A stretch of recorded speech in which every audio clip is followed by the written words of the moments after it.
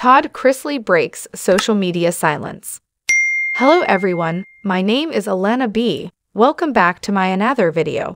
I hope everyone is having a wonderful day. Before starting the video, please go ahead and hit the subscribe button and give this video a like up. Despite being behind bars for a 12-year sentence, Todd Chrisley just broke his Instagram silence. A quick scroll through his profile reveals December of last year, a few days before Christmas, was the last time he posted anything on his Instagram profile. So, what does Todd have to say to his 2.2 M followers from behind bars? Keep reading for the full story. Posting for the first time in just shy of a year on his profile, Todd Chrisley continues to call out the corrupt justice system that put himself and his wife behind bars.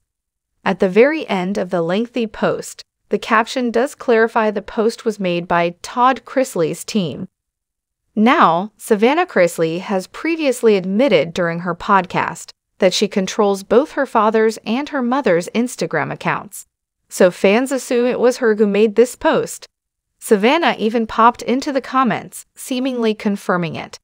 In her comment, she declared that nothing would stop her from continuing to fight. The post was not about the Chrisleys.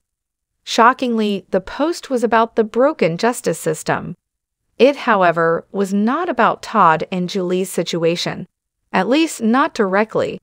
The post was about a man who was incarcerated with Todd, a man who the family felt also got taken to the cleaners by the corrupt justice system, a man with a voice people needed to hear. The caption of the post explained Our federal system is broken. Please take time to read this letter from a man that is incarcerated with me. He is the chairman of the Black Republican Caucus of Florida.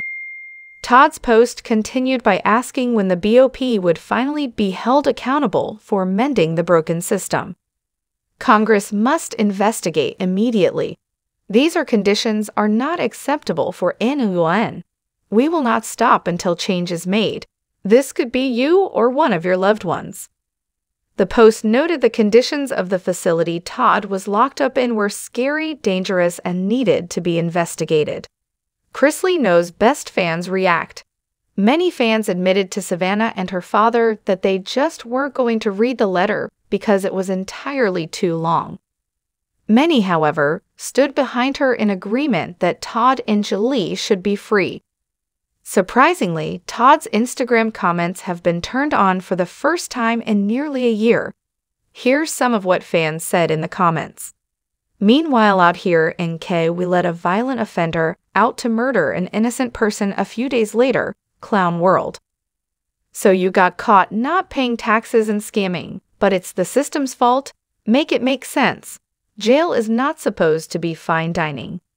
The real criminals are in office, people walking free for far worse crimes, violent crimes as well. Sickening what goes on in the USA in 2023. Not everyone stood in support of Savannah and her family's battle. Some argued Julie and Todd should pay for their crimes. What do you think inspired Savannah Chrisley to post this on Todd's Instagram instead of posting on her own? Do you think Savannah gets her father's permission before utilizing his social media accounts? Moreover, did you know Savannah managed her parents' Instagram profiles? Share your thoughts in the comments and keep coming back for more Chrisley news. Thanks for watching this video. Please subscribe to our YouTube channel, America Trends 24, and stay with us.